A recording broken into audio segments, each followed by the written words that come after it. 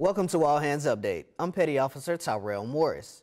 CNO recently held a conversation with a shipmate to discuss what our cyber forces do and why their mission is so important. CNO says all of us, not just cyber warriors, need to understand the role that cybersecurity plays in our everyday operations. Every day, our networks are, are attempted to be hacked into by transnational, that means no nation, just, just criminals, or by nations to steal our information, our classified, our unclassified information, and, and really to just disrupt our ability to do our job.